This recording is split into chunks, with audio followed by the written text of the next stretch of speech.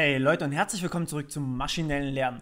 Heute geht's los mit Bias-Netzen und ja, die sind ziemlich cool, in der Praxis auch, ganz gerne benutzt. Und ähm, man kann ein schönes Beispiel dazu bringen, deswegen finde ich die ganz besonders toll. Ähm, sagen wir mal hier, wir haben, also wir berechnen es nachher alles wieder mit Bias, keine Sorge. Aber was wir hier haben, ist die Variable Kinogang, also die Wahrscheinlichkeit, dass ich ins Kino gehe, unter der Bedingung, also abhängig von dem Filmrelease F und ob ich Geld habe oder nicht, also groß G. So, und das bedeutet, ich kann jetzt meine Variable Kinogang beschreiben als Abhängigkeit von Filmrelease und Geld. Ähm, das bedeutet, ich kann hier eine Tabelle ausführen. Die habe ich schon mal vorbereitet, weil das immer so eine Primelei ist. Und ich glaube, ihr wollt nicht mir zugucken, wie ich Tabellen bastel, sondern ihr wollt eine Erklärung, was Bias-Netze sind. Okay, ähm, das heißt, die Wahrscheinlichkeit, ob ich ins Kino gehe, wenn ein guter Film rausgekommen ist und ich Geld habe, naja, eigentlich gehe ich zu 90% dann ins Kino. Warum zu 90% nur? 0,1% gehe ich nicht. Das liegt zum Beispiel daran, dass ich was Besseres vorhabe oder dass ich da gerade eine Vorlesung habe oder sonst irgendwas und eigentlich keine Zeit habe oder was weiß ich. Ähm, deswegen 10% der Zeit gehe ich zum Beispiel nicht. Achtet darauf, dass hier die Summe in der Spalte 1 ist. Das wird immer so bleiben. Ähm, genau, die Wahrscheinlichkeit, dass ich ins Kino, Kino, gehe und ein guter Film raus, wenn ein guter Film rausgekommen ist, aber ich kein Geld habe, die ist von mir aus 40%. Ich kann mir ja von irgendwem Geld leihen, aber zu 60% wird wahrscheinlich irgendwer sagen, oh, du kannst dir nicht schon wieder was leihen, zahle erstmal zurück, was du mir schuldest. So, dann haben wir hier auch noch die Wahrscheinlichkeit, dass, ähm, dass kein guter Film rausgekommen ist, ich aber trotzdem Kohle habe. Naja gut, dann werde ich wahrscheinlich zu keine Ahnung, 30% der Zeit äh, von meiner Freundin genötigt werden, oh, guck doch bitte mal wieder einen Film mit mir an. Aber zu 70% der Zeit werde ich sagen, nö du, ich habe keinen Bock. Ja, ähm, das passt dann, ist auch wieder eins übrigens beides Mal. Und dann haben wir noch die Wahrscheinlichkeit, dass kein guter Film rausgekommen ist und ich kein Geld habe. Naja, warum sollte ich dann ins Kino gehen? Dann habe ich weder Geld noch Zeit noch Bock. Ähm, dann habe ich was Besseres zu tun, das heißt, ich gehe auf keinen Fall ins Kino. Okay, wie wir hier sehen können, ähm, die Summe in der Zeile muss nicht immer 1 sein, aber die Summe in der Spalte, die muss immer 1 sein. Denn entweder gehe ich ins Kino oder ich gehe nicht ins Kino. Und was anderes gibt es da nicht wirklich. Ich kann nicht einen Fuß reinsetzen und dann doch nicht, ich weiß nicht. Geht nicht. Okay. Ähm, und ja, mit dieser Tabelle kann man jetzt coole Sachen machen. Zum Beispiel kann man die Wahrscheinlichkeit hier, dass ich ins Kino gehe, anders ausdrücken. Also die Wahrscheinlichkeit von Kino kann man ausdrücken als die Wahrscheinlichkeit von Kino gegeben f. Ah, halt, stopp. Hier vorne fehlt natürlich noch was. Ähm, wir wollen die Wahrscheinlichkeit, dass ein guter Film rauskommt, zum Beispiel, und Geld, ich Geld habe und das Kino äh, und ins Kino gehe.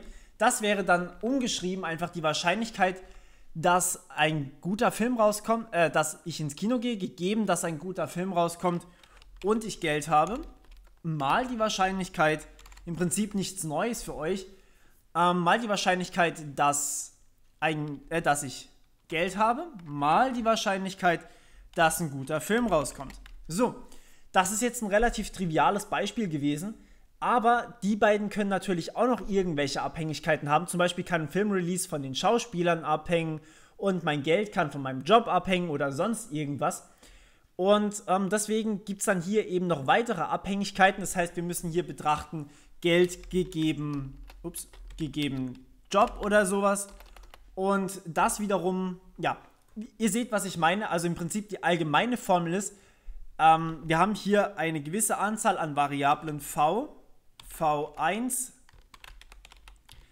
bis hin zu, upsala, vm zum Beispiel. Und das ist die Summe, äh, nicht die Summe, das Produkt, ähm, das Produkt von der Wahrscheinlichkeit, dass y, upsala, y1 äh, gegeben, komm schon, was ist denn los heute schon wieder? Vorgänger von y1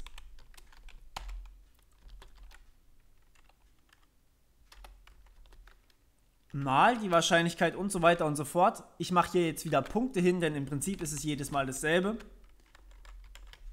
Bis m. So, was steht jetzt also hier?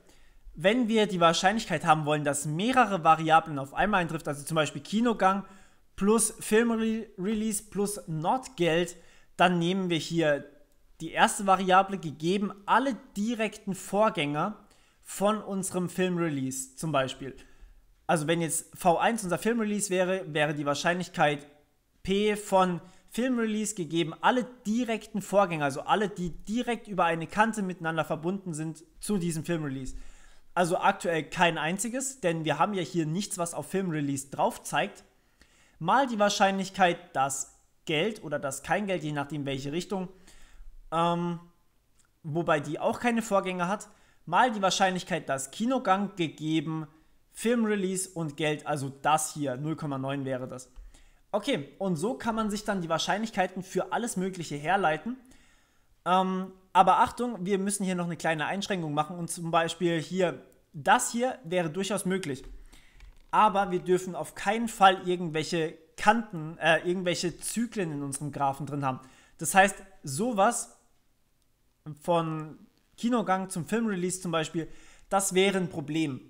Denn dann hätten wir als Filmrelease-Vorgänger hätten wir dann Kinogang und als Kinogang-Vorgänger hätten wir Filmrelease. Das heißt, die würden sich so in der Endlosschleife wiederholen.